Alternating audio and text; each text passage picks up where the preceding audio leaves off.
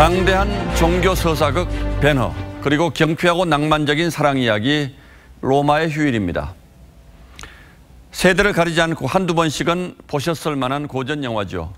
거기에다 드라마 폭풍의 언덕, 사회극 우리 생애 최고의 해, 서부극 빅컨츄리의 뮤지컬, 코미디, 범죄 심리극까지 각기 장르가 다른 이 영화들의 공통점은 한 명의 감독, 윌리엄 와일러가 만들었다는 사실입니다.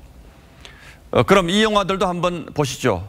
어, 가족극 결혼 피로연과 음식 남녀, 영국 고전극 센스 앤 센스빌리티, 무협극 와호장룡, 공상 액션극 동성애 서부극 3D 영화, 어, 대만 감독 리안도 시대와 주제를 넘나들며 거장 반열에 올랐습니다. 그리고 또 한 사람 봉준호가 있습니다. 풍자극 플란다스에게 범죄 시대극 살인의 추억, 괴수 영화 괴물, 어두운 가족극 마더, 공상 액션, 설국 열차까지. 끝없이 새로운 세계를 탐구하던 그가 규기한 코미디 기생충으로 칸 영화제 대상을 거머쥐었습니다. 영화란 꿈의 공장, 세상의 만화경이라고 합니다. 봉 감독은 그런 영화의 정의를 그만의 방식으로 실현해냈고 봉준호 장르라는 말까지 등장시켰습니다. 그의 외할아버지는 일제강점기 모더니스트 소설가 박태원입니다. 암울한 일제시대, 서울 곳곳을 돌아다니며 전통의 몰락, 가족의 해체, 개인의 건조한 일상을 관찰하며 황금 만능주의를 꼬집은 소설, 소설가 구보 씨의 일일로 유명한 작가죠.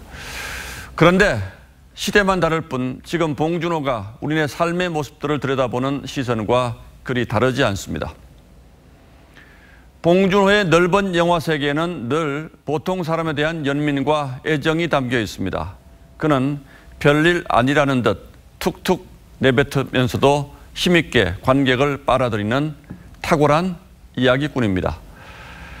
그가 풀어놓는 이야기 보따리에 세계인도 절절하게 공감한다는 사실이 칸에서 입증됐습니다. 이제 그에게는 거장이라는 칭호가 버겁지 않습니다.